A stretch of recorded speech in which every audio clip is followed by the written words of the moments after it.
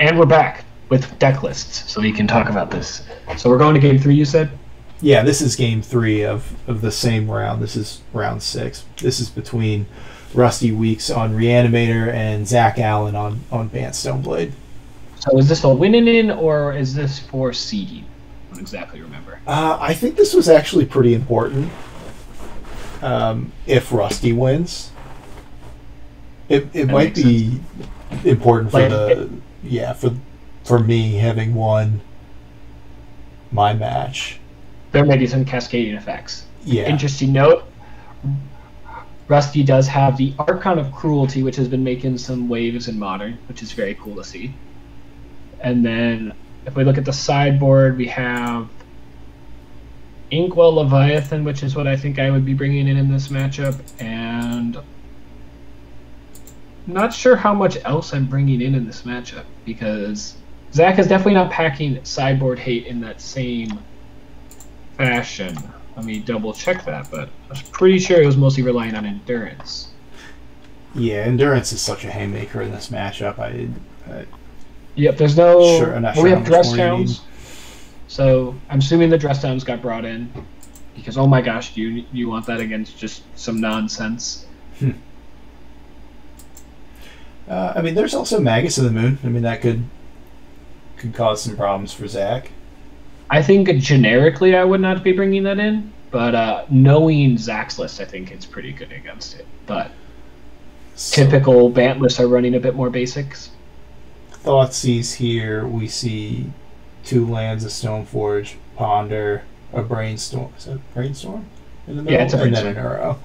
So So- Ponder Brainstorm Arrow two lands. Yeah.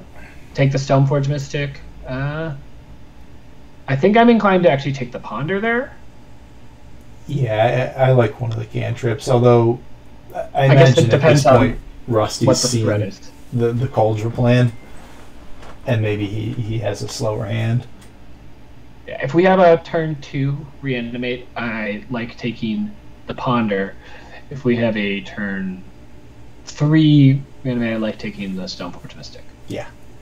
I just like forcing that if Zach is going to filter, he has to brainstorm as opposed to ponder, because this ponder can find an endurance now, Mhm. and we can pitch cast the endurance. Yeah, so Which, my God, is an absurd thing that that card is so good in like the Delver matchup, and then also being good against Reanimator.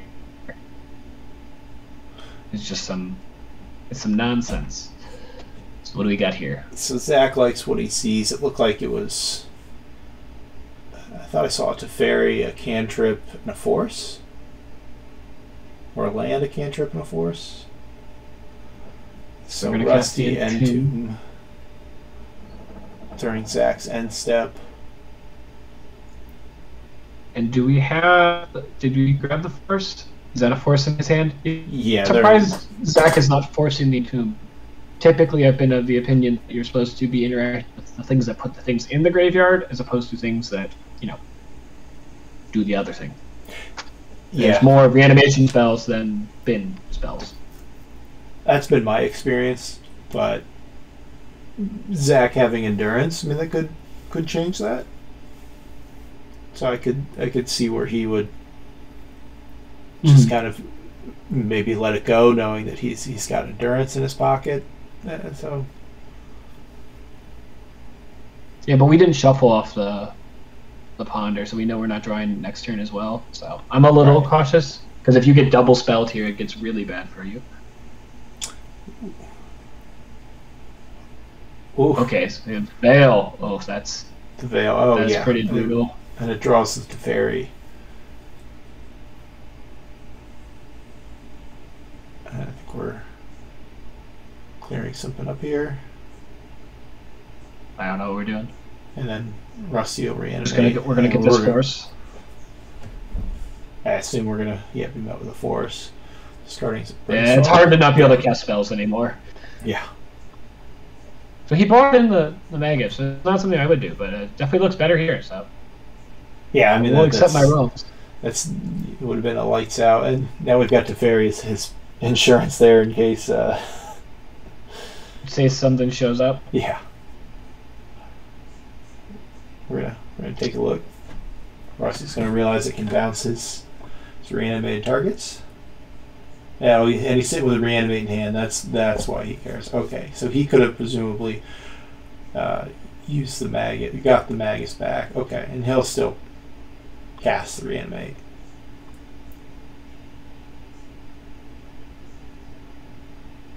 And, and try Yeah, this doesn't feel very good. Yeah, I I mean, I see, I see why you do it here because if presumably Zach will bounce it and you just play it again, it's you know. Yeah, it's fine. So, and We're just Zach gonna does, get two hits out of it. does draw a basic island. Which definitely makes this recast plan a little bit worse, but it's So he's got Uro, basic island. I can't see quite. See So there's a what swords in there. Swords, okay.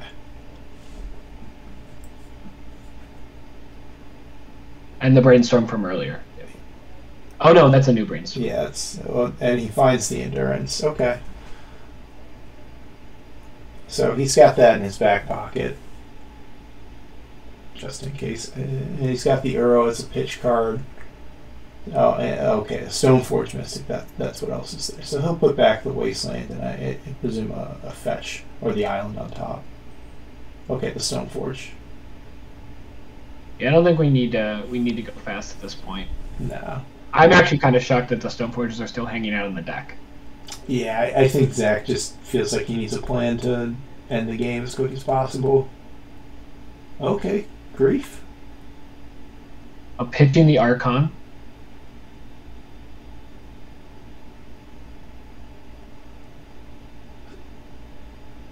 So Zach's gonna fetch away the Stone Forge and the Wasteland on top.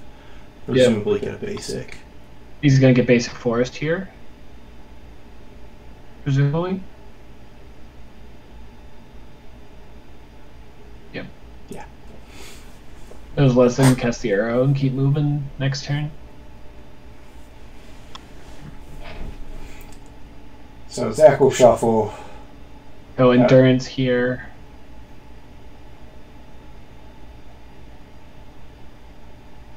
Endurance. Target Rusty. Not particularly relevant. And we pitch the arrow. The evoke triggers. Cast this. Yeah. And now we can really kind of the endurance lets uh, a Teferi really protects Teferi to, to be able Yeah, to it deals with this problem. Yeah, and then and then Zach can just recast the arrow. Oh, this is this is, oh, this is really good. Because grief has oh Ooh. wow. I mean, and Zach Grief has menace. a lot of answers. Yeah, so Zach will get one activation to, to bounce here. Um, So he just has before to Grief bounce, will presumably uh, take care of it. Yeah, and he just Cashes it in. ca- cash in the card. And I expect uh, an arrow. Yeah, and that's what we'll do. And at this point, it's going to be very hard for Rusty to get there unless he's able to get a Griselbrand into, pr- into play. Yeah, that seems like uh, Uh, we route do to not win. have any turns. We need an entomb into an exhume. Uh, we need a tomb into animate dead. Uh, we need at this point. The Uh, next two draw steps have to be those. Uh, Faithless Looting. Good. Oh, Faithless Looting also gets there. Yep. Yeah. Yep. We have to find those two cards, though. Yeah. Is the important detail. We've got a very small amount of draws that can get done here for Rusty. And, and I'll just scoop it up. He draws nothing. He does not draw one of them. Yeah. So Zach takes this round match against Rusty and Reanimator, and we'll be back soon with the top eight. Yeah. I think that's an expected course of action. Fancy against the reanimators right now. Yeah. And uh, thanks for, for joining us, David, and uh, we'll see everyone else next round. Of course.